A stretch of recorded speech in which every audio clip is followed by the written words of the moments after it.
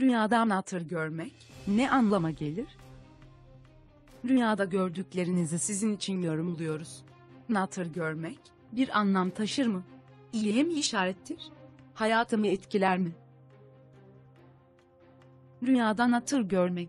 Natır rüyada hamamda olduğunuzu ve bir natıra kendinizi yıkattığınızı görmek. Bugünlerde ibadetlerinizde ihmalkar davrandığınıza ve bu yüzden tövbe ve istiğfar etmeniz gerektiğine isarettir.